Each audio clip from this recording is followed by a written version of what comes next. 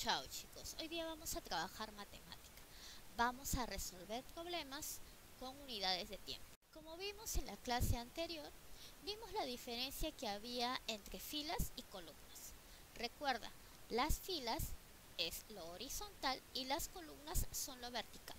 Como hemos visto durante la semana, hemos visto que la Tierra realiza dos movimientos, el movimiento de traslación y el movimiento de rotación. Y estos dos movimientos generan en nuestro planeta las estaciones del año, que es el movimiento de traslación, y el movimiento de rotación es el que origina el día y la noche. Ahora, ese ir alrededor del Sol, dar la vuelta alrededor del Sol, se realiza en un año.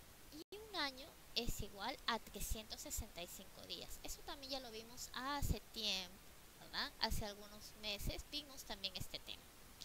Un mes es 30 días. Una semana son 7 días. Un día tiene 24 horas. Una hora 60 minutos. Y un minuto 60 segundos. Como tú ya sabes lo que son las filas y las columnas, ahora yo te digo ¿Una semana cuántos días tenía? Siete días, Miss. Muy bien. Una semana de siete días. Si yo te digo dos semanas, ¿cómo harías tú? Miss, dos veces siete. Exacto. Dos veces siete. Entonces, ponemos dos, dos filas, como vemos aquí, dos filas y siete columnas. Y siete columnas. Lo que ves de aquí de fucsia está encerrado.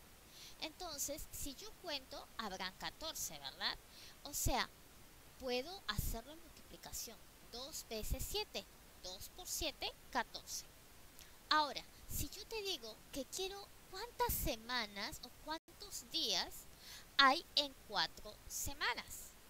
4 semanas. Yo sé que una semana tiene 7 días. Entonces, sería 4 veces 7, ¿verdad? Entonces, ¿qué es lo que voy a hacer? Voy a colocar las filas y las columnas. ¿Cómo lo pondrías? Mis 4 veces 7. Entonces, 4 filas y 7 columnas. Exacto. 4 filitas con 7 columnas y las encierro. Si te das cuenta, ¿cuánto te sale? Mis 28. Exacto, 28. Puedo hacer la multiplicación 4 por 7, 28. Porque es 4 veces 7 si te das cuenta, ¿es el doble o no es el doble de 2 por 7? Sí, Miss, es el doble, exacto, es el doble, mira. Entonces, la tabla del 4 es el doble de la tabla del 2. Bien, ahora leemos atentamente la situación problemática. Así que ponle pausa y fíjate cuáles son los datos que te está dando este problema. Bien, ¿encontraste los datos? Sí, Miss. A ver, ¿cuál es el primer dato? Que Juan sale de vacaciones por tres semanas, Miss, y cuatro días. Muy bien, Juan sale de vacaciones. Me dice por tres semanas y cuatro días. Tres semanas y cuatro días. Y ahora, ¿qué es lo que me está pidiendo en el problema? Miss, ¿cuántos días estará de vacaciones? Exacto, eso es lo que yo tengo que hallar cuántos días. ¿Cómo lo podría plasmar? A ver, ¿podría utilizar de repente la técnica de filas y columnas para trabajar? ¿Qué haría primero? Miss, primero tendría que saber las semanas. Mm, lo tendrías que pasar primero las semanas a días, ¿verdad? Porque me está pidiendo la cantidad de días. Perfecto. Entonces, primero tendríamos que colocar las tres semanas, ¿sí? En días. ¿Y después qué haría? Miss, sumar los cuatro días. Mm, muy bien, sumar los cuatro días. Entonces ahí ya tendría completo los días que Juan sale de vacaciones. Entonces, vamos a colocar los datos que tenemos. Sabemos que una semana tiene siete días. Eso no lo olvides. Eso ya lo tienes que saber tú. Una semana tiene siete días. Ahora, él sale de vacaciones, sus vacaciones son tres semanas y cuatro días. ¿Y qué es lo que me están pidiendo? Me están pidiendo cuántos días estará de vacaciones. Entonces, vamos a hacer 3 veces 7. Vamos a jugar con las regletas, ¿sí? Con las regletas. En este caso, he puesto tres regletas, ¿sí? Y estas regletas son de 7, o sea, 3 veces 7. 3 filas por 7 columnas, ¿verdad? Entonces, 3 veces 7, ¿a qué operación me equivale? Muy bien, equivale a una multiplicación, ¿verdad? 3 veces 7. Entonces 3 por 7. Pero aparte de esto, tengo 4 días. Entonces también he representado los días con la regleta de 4, que es la rosada.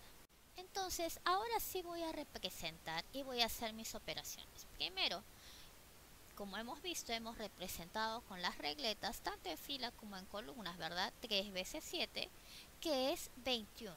O sea, en 3 semanas tengo 21 días. Y aparte tengo 4 días, que es la regleta rosada. Entonces sería 21 más 4, 25. 25 días es los que Juan va a tener de vacaciones. Bien chicos, entonces vas a ponerle pausa al video y vas a leer con mucha atención esta situación problemática. Recuerda encontrar los datos y sobre todo, ¿qué es lo que te piden allá? Ya hallaste los datos de este problema, ¿verdad? Perfecto. Entonces, Dentro de cinco semanas, Peluchín, la mascota de Pedro, va a cumplir tres años. ¿Cuántos días tiene actualmente? O sea, tengo que encontrar los días. Pero dice dentro de cinco semanas. Todavía le falta. ¿Sí? Le falta. Ahora me está pidiendo la cantidad actual de días que tiene ahorita. Entonces, yo sé que en una semana tiene siete días. Entonces, dentro de cinco semanas, ¿cómo podría hallarlo? Mis 5 veces 7. Muy bien, 5 veces 7. Entonces multiplicaría 5 por 7, ¿verdad? Que es 35. Perfecto.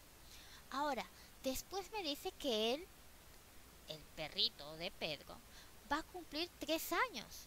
Entonces, 3 años, ¿cuántos días será? ¿Qué tengo que hacer? Mis, tendría que multiplicar 365 días por 3. Muy bien multiplicaría para saber cuántos días hay en 3 años. ¿Sí? Lo multiplico. 365 por 3. Ahora, la pregunta es, ¿cuántos días tiene actualmente? Esta cifra de 1095 es si él tuviera 3 años. ¿Pero él tiene ahorita 3 años? No, Miss, todavía no tiene. No tiene. Dice dentro de 5 semanas. O sea, le ¿Qué tendría que hacer? Mis, una resta. Perfecto. Entonces voy a restar los 1095 menos las 5 semanas que son 35 días, ¿no? Que equivalen a 35 días. Entonces, ¿cuántos días tiene actualmente Peluchín? Tiene 1060 días. ¿Recuerdas lo que hemos trabajado en filas y columnas? Muy bien, entonces lo vas a aplicar ahora con la tabla del 4 y del 8. Bien chicos, entonces ahora vamos a empezar a trabajar. Sacamos el cuaderno, colocamos la fecha, colocamos el título y sacas tu cuadernillo de trabajo para poder resolver las páginas indicadas.